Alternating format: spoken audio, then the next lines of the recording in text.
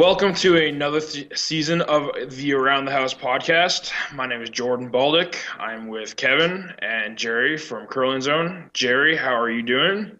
Doing well. How are you doing, Kevin? I'm uh, fantastic. You guys ready for another year of uh, curling talk? Yeah, a little late to the start, but uh, busy start to the season uh, in a lot of things has probably delayed this, but I think we've got uh, some interesting topics to cover today. Jer- Gerry, I hear you're a celebrity. yeah, maybe a little bit. yeah, the uh, managed to uh, have a clip of an interview I did on, with CBC, uh, the National, make its way onto uh, the Late Show with Stephen Colbert, which is pretty cool. Yeah. yeah so, so take us through take us through your Saturday morning uh, yesterday and and what uh, how you found out and and then uh, tell us about uh, you know what the what's happened since.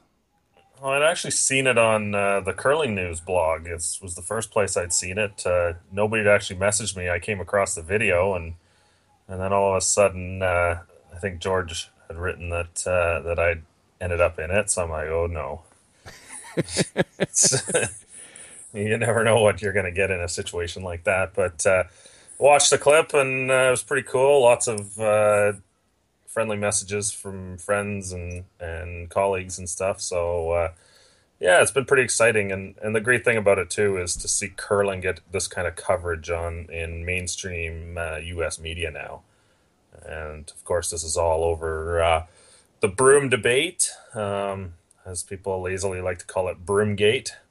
But uh, you know, it's uh, it's really taken over our sport right now, and it's something that I think is uh, is a difficult position for the sport, and as there's no easy answers and no solutions that uh, that aren't going to impact somebody one way or another.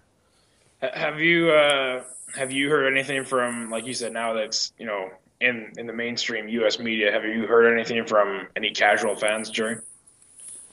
I know it's sort of a it happened only a couple days ago, but you never know. Well, I think uh, when you talk about the debate, it's it's kind of a case that uh, you know some of the top players have learned how to utilize uh, specific types of brooms and materials. And you know we call you know it's it's been tagged as directional fabric. I think uh, one of the broom manufacturers hardline uh, uh, will uh, debate that whether that their broom actually falls into that category.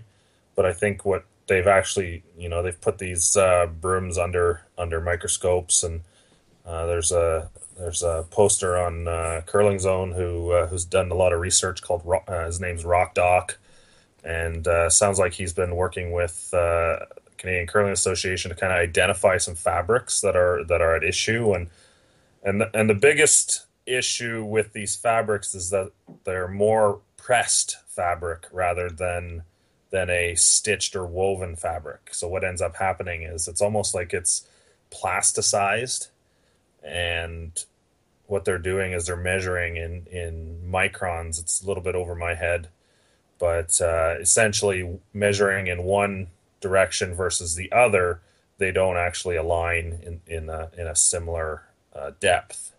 So I, this is what they tag as directional fabric. Whether that's a, I think it's a pretty poor label for for for the the fabric.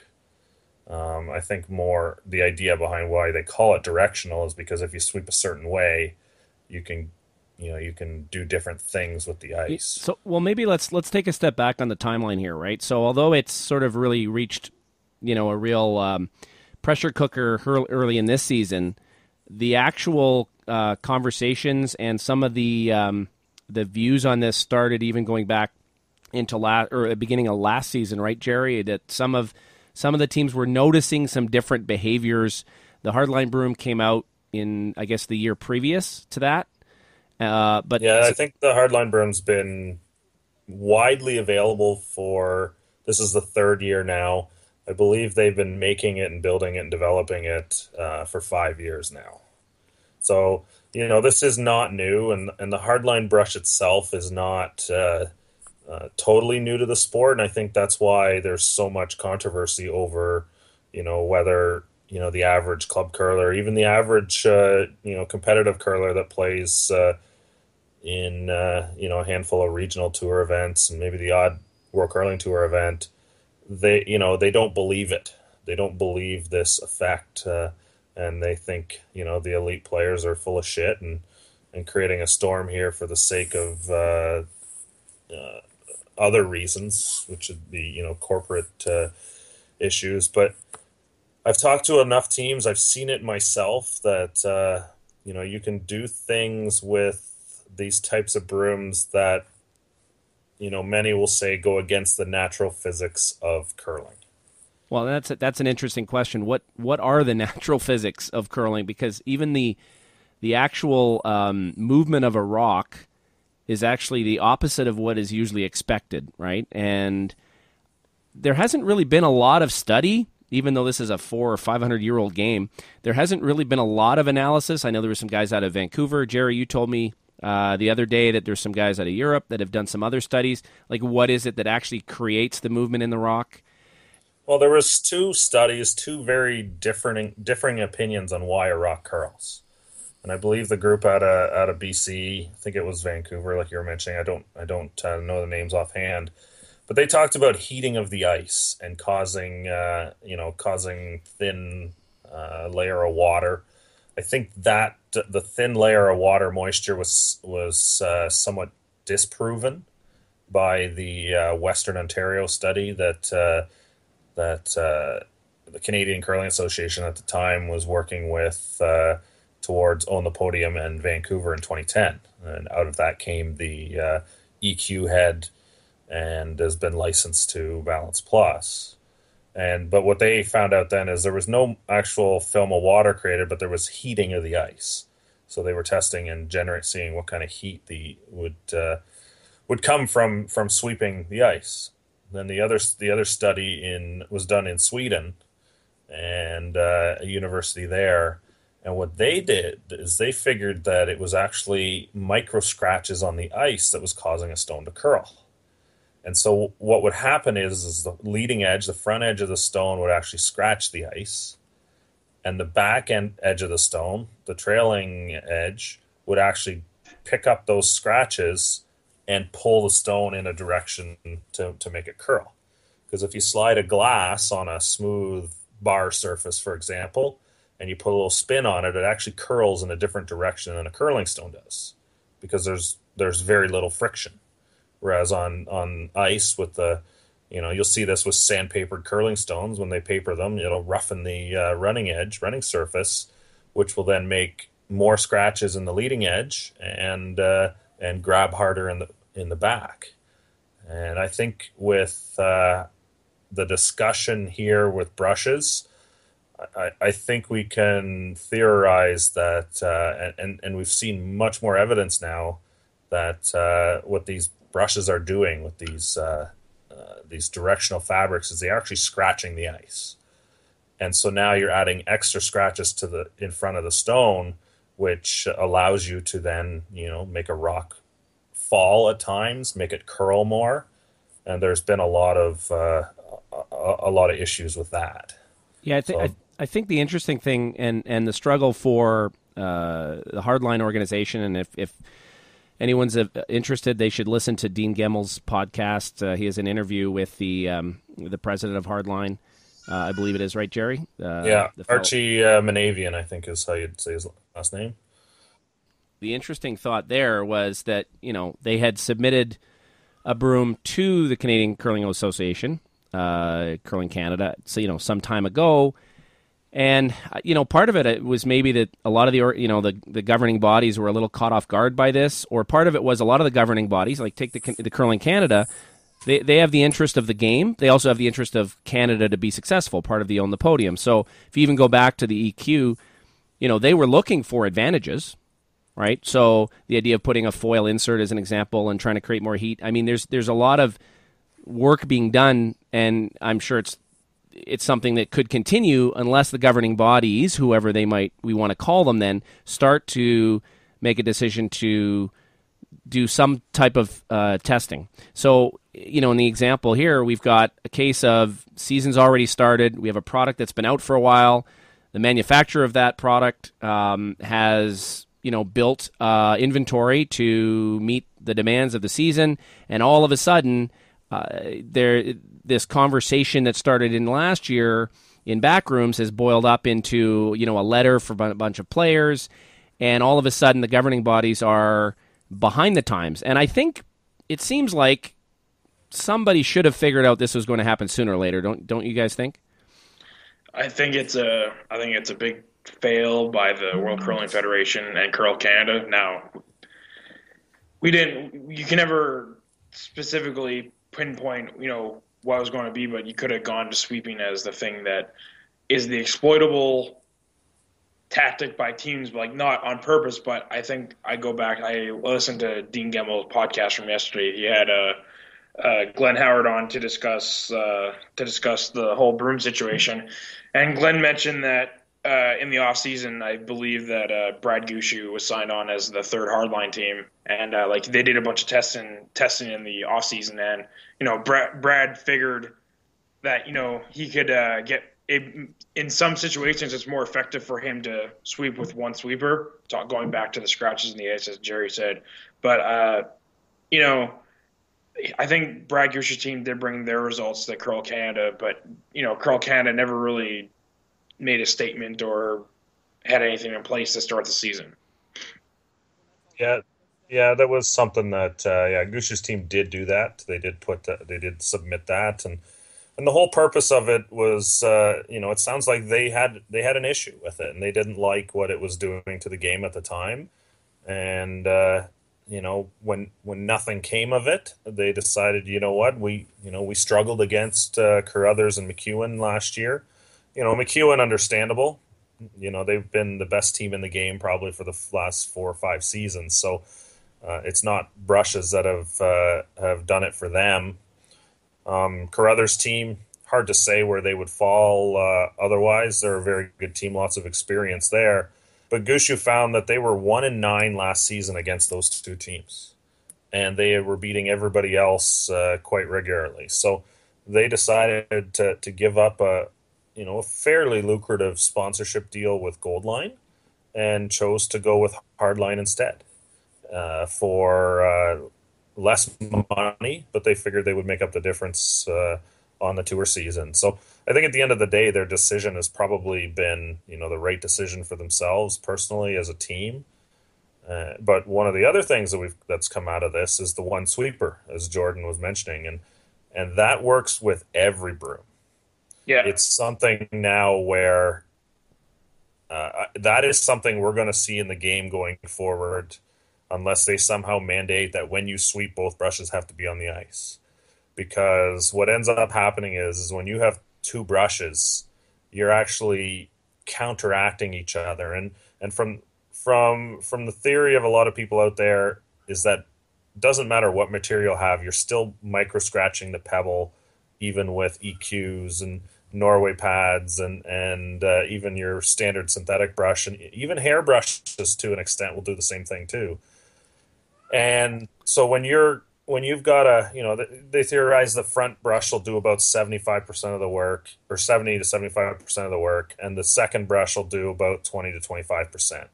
So when you're sweeping countering each other from opposite sides of the stone, you're only doing 40% of the work if you remove the front sweeper, you've still got the 70 at least. So you're actually wasting energy by sweeping with two sweepers. The other option is you you move back to having two sweepers on the same side, which anyone that's only started watching curling in the last decade probably hasn't seen before. I don't know if that's something Gerry that you've seen recently either with some European teams or I haven't seen anybody actually executing on it as a uh, from a uh, starting point, but at times you'll see sweepers pivot behind the stone Mm-hmm. So you know, it's the kind of thing where I think you're going to see uh, more of this happen in the future.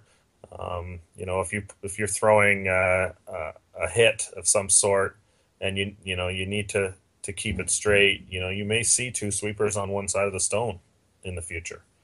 But the one thing though is that the sweeper on the other side can affect the curl, so you can actually make rocks curl more now too. So it it makes sense that when you're wide on a hit, the sweeper on the outside of the curl, meaning you know if you if you look at the curl as a C, for example, if you're on the outside of the C and you're wide on a hit, you should be sweeping with the outside sweeper. Now, this all this all uh, also was created. Uh, if anyone that curled years ago uh, would would know that the sweeping rules previously were a lot more restrictive, right, Gerry? They had you had to you know move the broom head across the entire path of the rock. There were you know a lot more details the rules have, have since changed dramatically to allow what we would all then you know call a corner sweep. Uh, I don't know that that's an avenue that we could consider to go back to that. Uh, it's really hard to actually officiate that, I would imagine. But I don't know. Do you, Jordan that's or Gerry have thoughts on that?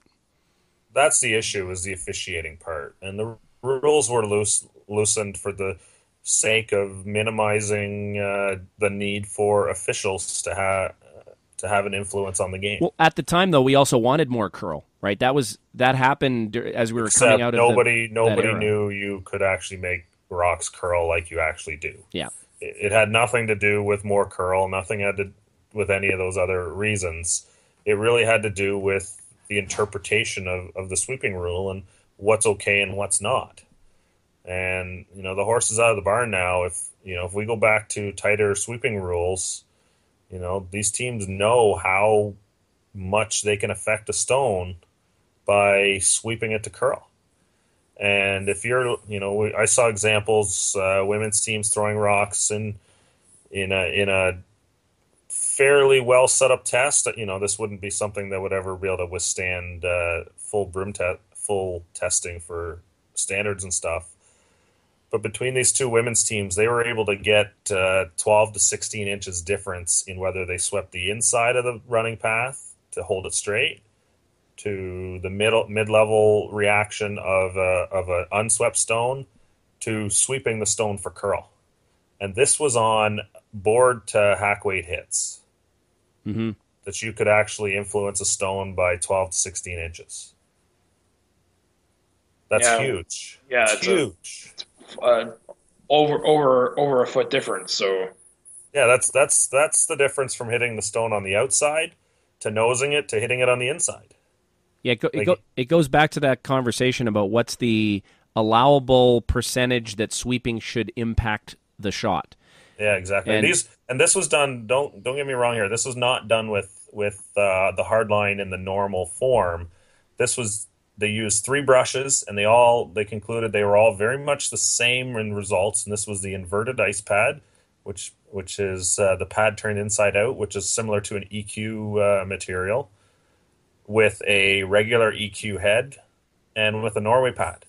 And they were able to get similar results, you know, in keeping it straight and making it curl with all three uh, materials. Well, and I think that's one thing you bring up then that might have people concerned in the way this is being shaped as a uh, a corporate uh, battle between two companies. You know, I think if everyone is pointing at a particular broom, uh, I think people also want to stop and say, well, what about the one I'm using? Right? And and what is it now capable of? And and maybe we just didn't focus on it enough and examine it enough to see what we could do.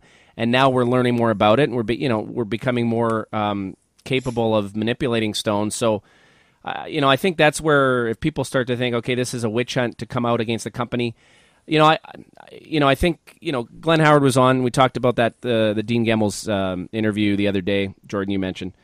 You know, I absolutely believe Glenn. You know, believes in the integrity of the game. He's played it for years, and he is starting to see things that you know concern him. Right now, the question that maybe Glenn might have to ask, and he's maybe not even talking openly about it, is, well, what about the equipment even that I'm using? And maybe we haven't been using it to its full effect, and so does that also create an issue? And and is that something that's been talked about, Gerry? Um, to a point, I think. You know, I think part of it too is, you know, I don't want to call those guys, you know, old or anything, but there's there's a difference between the physical strength and the fitness level of Team Howard sweepers and take Mike McEwen sweepers or Reid Carruthers team or Kevin Cooey's team. And, you know, you're you still in talking to some of these teams, you know, they can do things with brushes that you know, they can't. Uh, that they know it comes from strength, mm-hmm. and so you know, some of it I wonder is you know Howard's team. You know, are they able to keep up with uh, you know some of the other teams? And you know, sweeping is definitely going to be an issue with that team. You know, it's, it just naturally happens. You know, your peak level in in, in sport, in the athletic uh, part of the game, you're probably looking at uh, 25 to 35 in curling for front ends. Very few are very few front ends uh, are older than that. Yeah. Hey, hey, question, Jordan. So, as a fan, what, how much do you care? I mean, how much do you care? Do you think that uh, the the sweeping becomes a bigger part of being able to manipulate the, the shot and create a different game? Does it is it that apparent to you? Is it as as important to you as it might be I, to the players? I think there's two schools of thought. There's two type of fans. I'm more of a hardcore fan, if anything, because I've been curling my entire life, and I still curl once a week, and I still care about the sport. But I think there's there's going to be your TV your TV fan person that watches all all the you know the Scott the Scotties and the Brier, and they're going to tune into some of the Grand Slams, and they might not give a crap. Now, for myself, my my biggest issue is that I believe that these type of rules have to be done in the off season because you enter the season on a set of rules. Now, if it's if if it's an extreme case, which this sounds like it is amongst all the top teams in the world, then uh, decisions by the World Curling Federation and Curl Canada or Curl Canada must be made. But I also think of it as from a recreational curling standpoint, where take someone like me. I own a hardline broom, an Ice Pad too. I bought it at the end of last year. And I think to myself, well, I'm lucky that I, I always keep a backup broom around. I have a old Asham broom that I use.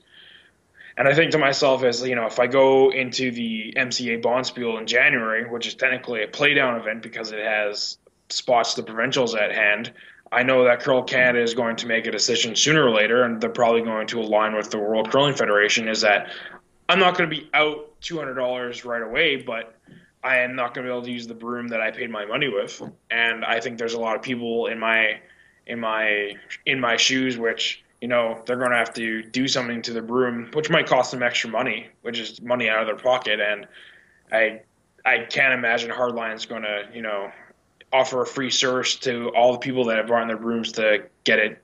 Uh, in line with the current rules. So I think from a, a resident a, a club curler like myself, I hate being out the money because brooms aren't aren't cheap. Well, and even even if you look at golf, when they've made rulings, they've usually made those rulings well in advance. Like we're going to change the you know allowable groove construction three years from now. We're going to make you no longer be allowed to anchor your putter to your body three years from now. Um, there's there's usually and, and again golf I, I, would imagine seems to have a lot more funding in in terms of looking at technology uh, but you know who knows if we went back you know 20 years it's likely that, that golf wasn't prepared um, you know if you remember in 2000 when Tiger was winning all those tournaments and not to take away from Tiger's skill and ability but he was using a new Nike constructed ball that was a four piece ball and all the other guys were using Titleist Balatas and there was a real push from from Titleist at the time to get that Pro V1 out to market because they had to compete. And then all of a sudden, the ball has never been the same, and it goes, it flies straighter. It uh, you don't need to be as much of a shot maker as you did in, in the old Balata construction. And I'm I'm willing to bet at that stage back then, the you know the USGA or the, USGA and the, the the R&A probably weren't prepared for what was happening at the time. So and and they had all the resources and money more so than likely the WCF and, and Curl Canada has. So it, it's there's going to be playing catch up, but I, I agree. Like there there is an argument to be made that says nothing's going to happen until next year and continue to play as you did last year, and there would be lots of griping and lots of complaining. But I think you know part of what's adding a bit of questions to all this is Balance Plus and their involvement in sponsorship of these organizations. And even if there is nothing at play here, it certainly raises questions, and it's something that I think has brought about even more more thoughts to should those kind of companies be involved at that level. Um, but uh, I, you know, you know, my thought is I agree with you completely, Jordan. The timing is terrible, and I do really think there is a discussion to be had that you know maybe nothing has to be done right now, but we're probably already past that because we've got various tours, various organizations um, but you know the CCA is and or sorry Curl Canada is in an interesting spot because they allowed the hardline broom two years ago. They have to be very cautious about what they they do and don't say at this stage. So we'll we'll see. It remains to be seen. I think what uh, what'll happen there. Yeah, and this right. this sort of comes into you know you talk about the golf ball as well, and you know does the sport have allowable tolerance for that kind of improvement in the game? And I think you know for for the for the mid level sports fan who kind of pays half attention to golf, I'd suggest there was room for that for an improved ball that allows allows better shot making and and all that because you can do things like making the golf courses more difficult. You know, you can tighten up the fairways to to make uh, uh, make uh, golfers have to be even more accurate and and uh, play their shots even better. You know, add more bunkers, add more hazards, all kinds of stuff like that can be done to kind of counteract that ball technology. This brings into the question with curling. You know, what can we do to counter counter you know the, the brushing being more effective and and I think this is the crux of the issue here is that you know in the past a, a curling brush is really only meant to take a rock further and keep it straighter so you know it allow you to add you know 10 maybe 10 feet of distance on a, on a draw for example. Or you could keep the line a little bit later or a little bit uh, straighter by delaying the break point by sweeping a stone. What seems to be happening with some of these new materials is that you can make a rock fall, you can make it curl more, which they've identified while not realizing that every brush could actually make a rock curl more in, in the past. So I think there's one part of it is, you know, we're in a new in a new reality with with sweeping to make rocks curl, and I'm not sure we're ever going to be able to change that. But then the question is, you know, is it okay that the rock goes the opposite? That you can make a rock fall on ice that's supposed to be curling four or five feet. And if that's the case, you can essentially pinball a stone down the sheet. And, you know, if you oversweep it one direction, you, you hit it with the other brush and you sweep it back. And that's what they were kind of terming joysticking at the end of the day. And, you know, I I'm to a point where I kind of feel like some of this is is good for the game because we do have room for improved shot making. But at the same time, you know, how much of actually throwing a good stone should should factor into making shots. You know, should it be 75% on the delivery, execution of the stone coming close to the brush and tweaking with the with the with the brushing? or now it's now to a point where where some are suggesting that it's almost the opposite where you know you throw it close you know you throw it reasonably close to the broom and when i say reasonably close within six inches and the sweepers can uh, can uh, just fix any issues with the with the delivery so essentially you know you can slide out of the hack close your eyes and just let it go and let the sweepers do the work i was going to say i think that there's two ways that this has to be governed. I think the we've talked about a little bit. Like the brooms have to be governed, I think, from a standpoint of the materials that can be used. I'm fine with that, but then you also have to come down to a point where we talked about earlier, like how can teams sweep the rock? Now, if you know the WCF or Curl Canada came up with the rule is that when you're sweeping, both brooms have to be down. I think I'm totally against that because I think Gushue has proved that having a second sweeper sometimes can be counterintuitive, and I don't want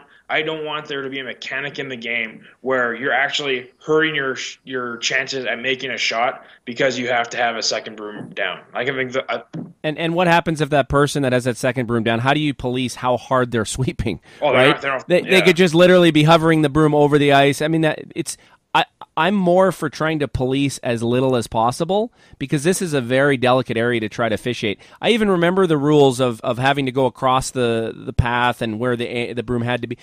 Some of those rules themselves, nobody actually followed them completely, and you know you could have arguments on the ice where people would say, "Ah, you're corner sweeping, you're doing this," and it was really hard. It's hard to to really tell or know what's happening and what pressure is being placed. So I, I'm I'm for as little of that as possible, and I'm more for you know trying to you know control the advancements in the technology. But it's it's it may be difficult to do. It's just something that's going to take some type of um, you know, ruling, but I just think, you know, you got a 400 year old sport and you're making a ruling in a span of four weeks. Uh, actually, I mean, there's been two rulings. The WCF made a quick ruling uh, ahead of the Pacific uh, Championships, and then they came ahead and, and they've come up with another one. We might see something else. I'm I'm sure this is not done before we reach the next Olympics, but I do think that you know there needs to be a kind of combined effort and some independent analysis that's done. But I think there is a debate because the debate is what should sweeping add to the game, right? And Yeah. uh, and some people might still feel that it should do very little. And you know, if it if it strictly is just you know ten feet plus um, holding back, you know, th- you know, six inches of curl, we're past that already, and I don't think we can get back to that. Yeah, one of the biggest things we need to make sure that uh, we stress to everybody involved in this situation is is to have a, a bit of patience. You know, to to you know now that now that it's being looked at and discussed, it, it really comes down to trying to figure out what's what's best. The hardline teams have bent over backwards trying to. Uh, you know, evolve to satisfy a you know the gentleman's agreement that's put been put out there. They've inverted their brushes. They've been out on the ice testing with with uh, non hardline teams. So to suggest any of these teams are doing anything to to cheat the system, you know, to call these teams out as cheaters, I think is is a bit disingenuous at this point. Um, same thing at a club level. Uh, the the biggest thing, the the discovery about these brushes is is mostly about when they're absolutely brand new out of the out of the box, and and they they have a little bit of extra sharpness to them that these teams were able to actually take advantage of. Oh, and used by world class and world class Yeah. sweepers, right? Exactly. So so it's a situation where, you know, a team like Gushue's team, they would actually have three different variations of a hardline pad for each of their players. And they would choose the, the brush they wanted to use based on the type of shot they wanted to use. And so for hits, they were pulling out, they wanted to have a brand new hardline pad on the inside of the C, inside of the curl, which would help make sure it keeps it straight. And so, you know, when when they played other shots, for example, draws, they would use well worn in in pads because it didn't affect the curl. It would just act like a normal curling brush. And this goes back to, you know, the strength of w- why the hardline brush is so great is that those pads last forever. And uh, you know, it, it's it's a perfect broom for club curlers, but we've we've heard of instances where where people are being called cheaters in their curling clubs. And, you know, I, I think this is going off the deep end by, you know, a lot of people who've heard a few rumors here and there. You know, no, there's no club curlers out there who are going to be doing what Gushue's team did and replacing their pad regularly to keep a brand new one to keep rock straight. You know, the club curlers are out there to go out and have, you know, have a good game and throw a few stones. And the hardline brush is still great for that. You know, it's got the longevity. Once you break a hardline brush in, it seems to be they're they're not a whole lot different than any other brush out there. And uh, you know, I want to make sure that until we get this sorted out, that you know that we do away with this these kind of attitudes that have sort of filtered into into into the game. So, so, so, what do you think, Jordan? You think we've uh, we've covered it all? I think we've, I think we've pounded it into the ground and we've given our thoughts. Uh, anybody who's sick of this debate, we're not done with this for a long shot. Well, it- I think the great part is curling's in the news. You got, you know, the Late Show with Stephen Colbert. The Washington Post has had multiple articles. Then we made the New York Times. You know, what's next, uh, Gerry? We hope to see you on. Uh, uh, see you on Kimmel soon, and uh, and Jimmy Fallon, and maybe you'll get a live uh, a live uh, interview. Who knows? Hey, maybe we get some of these guys out to Vegas for the Continental Cup in January. It'd be a great spot to see some some of these guys show up. That would be a perfect uh, time for that. Are you heading down there by any chance? Yeah, I think so. I haven't booked anything yet, uh, but uh, I'll probably end up down there. Uh, it's such a great event, and and uh, Vegas puts on such an amazing show, and it sounds like they're uh, close to selling everything out too, which is great to see. Well, I think uh, you better. You got your 15 minutes, uh, Gerry. You better take advantage. You got it. If uh, if someone actually recognizes you on the strip, that'll be a compliment. uh, so, gentlemen, let's uh, maybe talk to some uh, results uh, recently. Uh, Grand Slam was last weekend, and we had uh, Homan and Gushue as the winners. Speaking of hardline teams, Gushue beat Carruthers in the finals, gentlemen. thoughts from that event on both sides? I think the men's event, uh, Brad Gushue's team just continues to roll. Doesn't matter what they're using. You know, again, this weekend they're rolling through uh, uh, a regional tour event in Halifax. They're into the final against Sven Mikkel. Uh, probably going to win it as as Gushue's team has been uh, been just crazy good this year.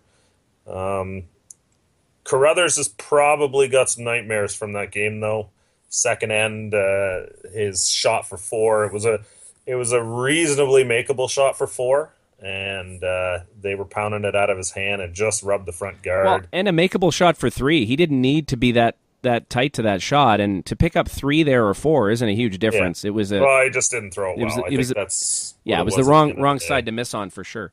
Yeah, and so he papered the guard and still followed through, made contact with the Gushue stone in the house but uh, wasn't able to to hit it quite hard enough and and uh, gave up that steal of one instead of a score of four or you know minimum three.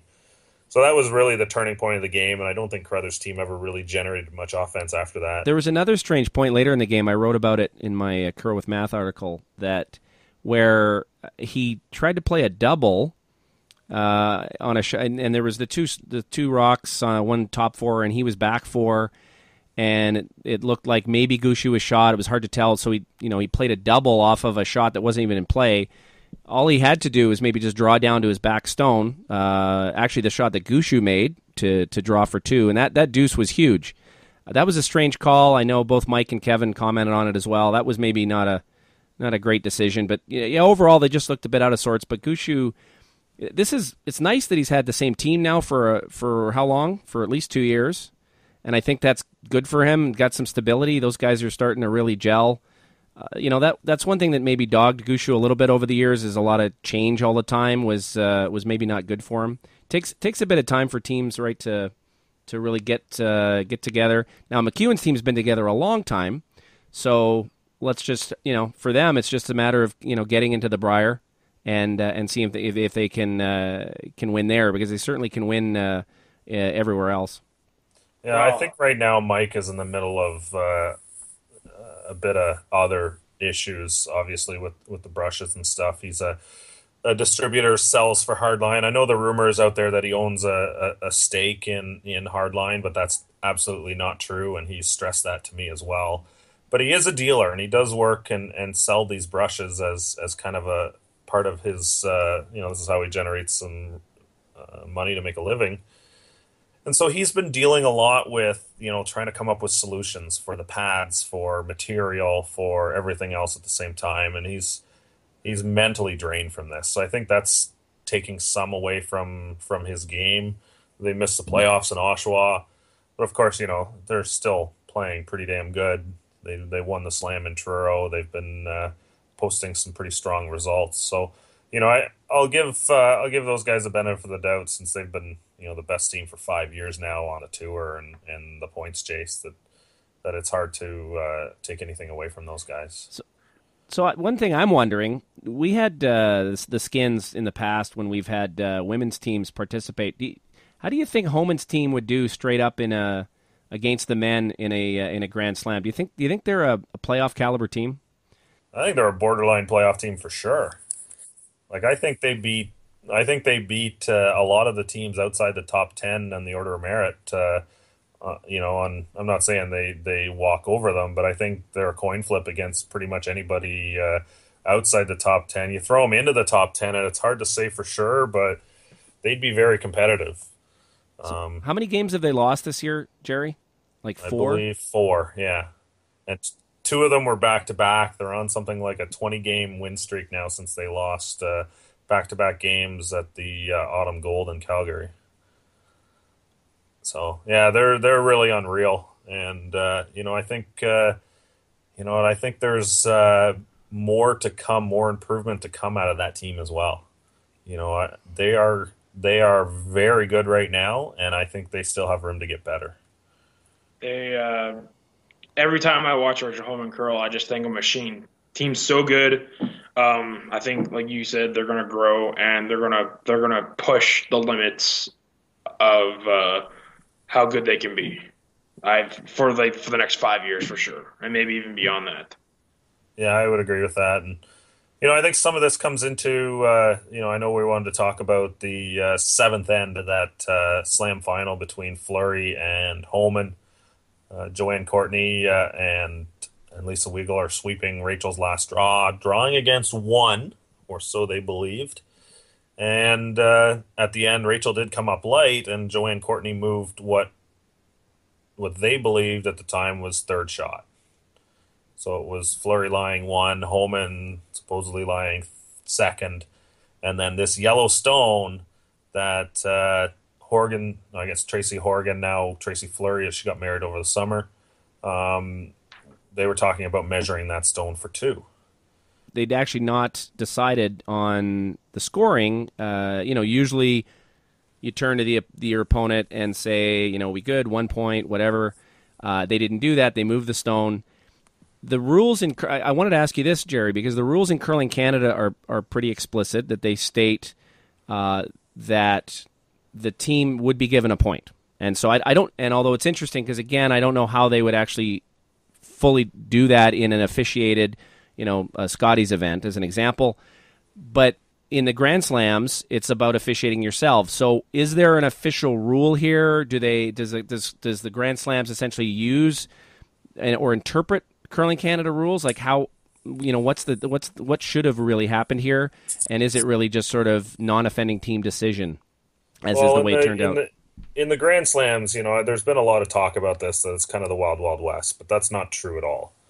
Um, there is uh, Pierre Charette does manage uh, the on-game side of things, and there's actually a registered official there for every draw as well. So it's not like officials are taken out of the game. Absolutely, uh, in the Grand Slams, the officials are really only there uh, when the teams can't sort it out for themselves. So in that situation, I think both teams uh, looked at the situation, and Tracy Fleury actually and the team posted a great response on their Facebook page. If you haven't read it, you probably should just uh, search Team Fleury on Facebook. But they essentially said that you know, based on the way both teams played that end, that you know the the strategy of the situation, that both teams believe that Homan was only lying one. No, it was actually Fleury was lying one. You mean? Or yeah, or, that's what I mean. But yeah. but were they able to see like overhead camera, or was there also a way to see it? Because looking at it at home, it I agree, it certainly looked as if uh, they were only close, sitting one. But you you know the the the overhead or the the video board in the arena wasn't as easily visible from the ice, so they couldn't just quite use it. Mm-hmm. Um, and of course, there's no guarantee the overhead cameras are never 100% over always over the button either. So so you wouldn't do that. But based on that, Homan would have played had had Fleury been lying two, and Homan believed that Homan would have absolutely played the hit and roll. Oh, I, I agree. There's no question yeah. about that. So yeah. and and Fleury said the same thing. So it, so you know the way they interpreted the rule is that uh, there's there is a rule in the book. I don't know the uh, the specification of it, but I've seen somebody pull it up. Is that if if a stone to be measured was moved, that uh, the point would go in favor of the non-offending team. What? Now, in this yeah. situation, is is the way both these teams interpreted it is that Homan's team realized their mistake. Emma Miskew said to them, "You heard this on on camera that that you know Fleury could take two if they thought they had two and they left it with that. And the Fleury team talked about it, and and they only took a single because they believed in their own, you know, in the way they played and the way the other team played, that they were only lying one in that situation. So, you know, I'd throw that out there. I, I know there's some people who'd say, you know, you absolutely take two there. It wasn't, you know, it wasn't your fault. And sometimes this is the failure of of curling's policy of uh, the non-offending team decides because now the non-offending team is the bad guy but at the same time, I don't think anybody would have would have uh, blamed Fleury for taking two in that situation either. So. I I didn't I didn't get to watch the game, but I read about it, and I also read uh, Team Fleury's uh, response on Facebook. I'm fine with the way it sort of panned out. I think we all agree that curling is a gentleman's game, or in this in this aspect, a ladies' game. Like they they they solved it for themselves, and there's an official there to figure it out if they can't come to terms. Yeah, I think that's that's the issue. You know, had had the two teams had a disagreement in that situation, you know, there there is an official around that they can bring in to get involved. And you know, if both teams agree and are happy at the at the at the end of the day, you know, I you know I think that's that's uh, the great thing about our sport. Even with so much on the line, you know, these teams are playing with uh, with class and sportsmanship uh, all the way through. Any thoughts there, Kevin? Yeah, no, I mean it's it's a I, I I think it's a situation where it's unfortunate because the way the sport works, the onus gets put on the other team. And what's interesting is, you know, I've in the long history of curling, there's been some guys that would even take advantage of that. Right? I think there's some teams that would have, even if they had known it was a close measurement, they but they probably didn't have it. There's some that would have taken that point. Oh, absolutely. I've heard from some of them.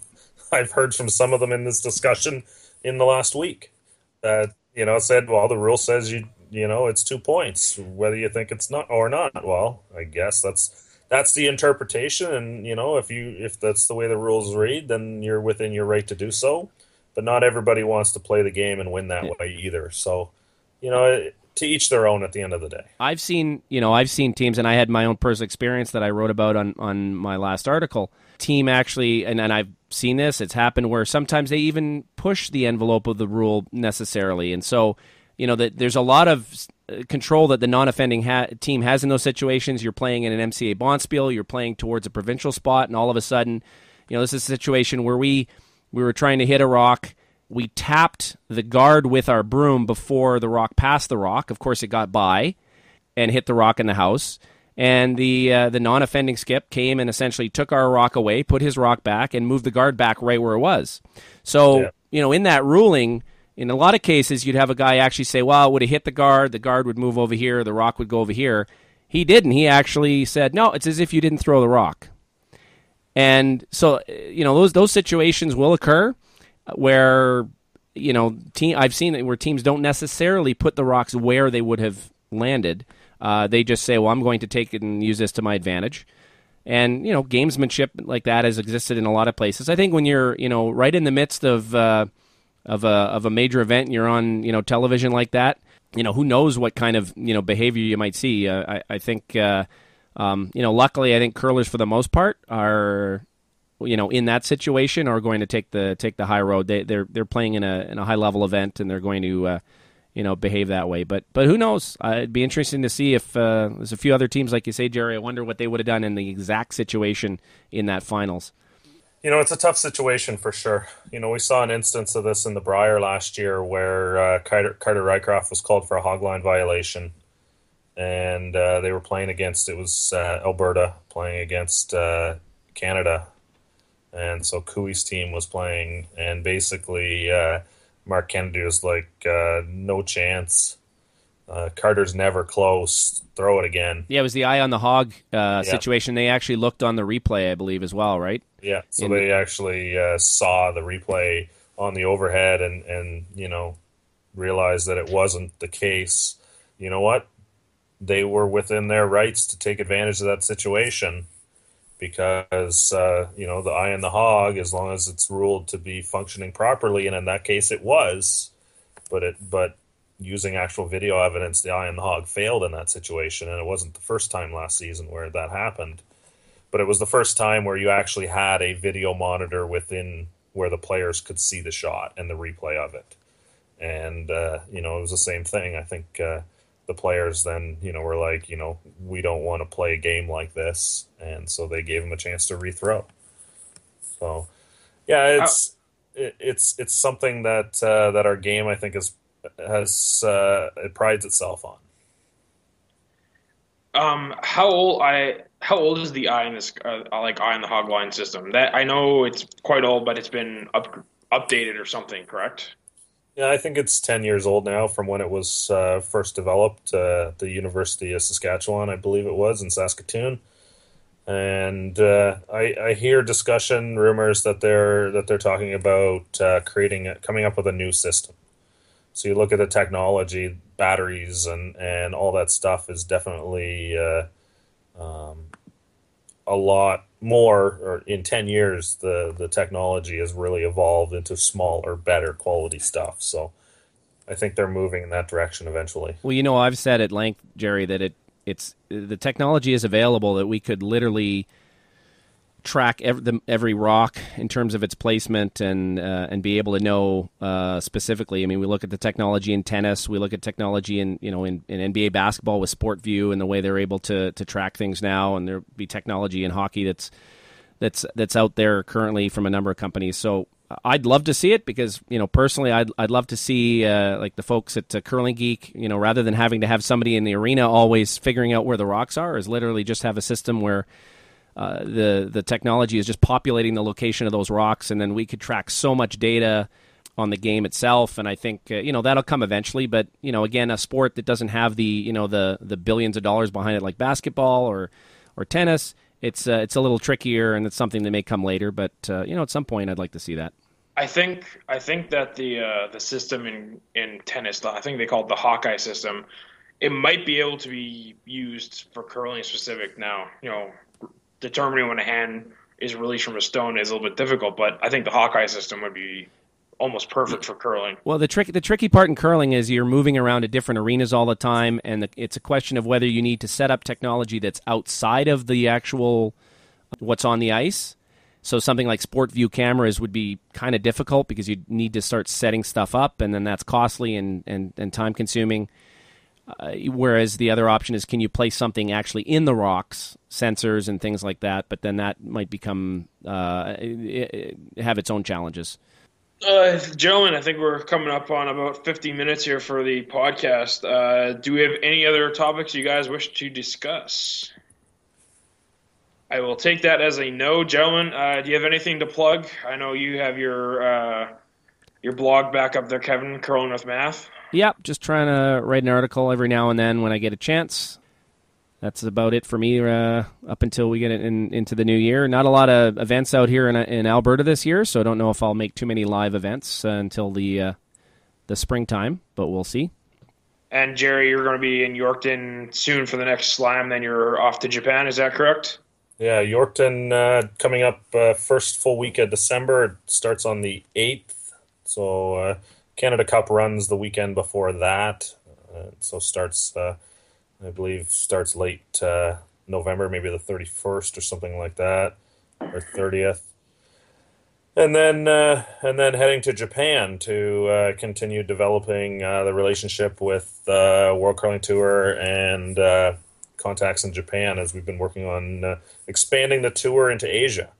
So, been having meetings with Korean and Japanese delegates, talking with with China about expanding events there as well, and and I think the future is bright uh, in Asia with uh, with teams in the game and competitive curling as well. So, you know, it's uh, looking forward to it. Uh, Karuizawa is the event, and we'll be doing lots of coverage, video interviews, and stuff like that as well as uh, as Jesse Wachter is coming along too. So we're gonna do all kinds of coverage of uh, our Far East curling adventures. Now be careful out there because I do believe they watch the Late Show out there, and chances are there there might be a whole mob of people when you get to the airport.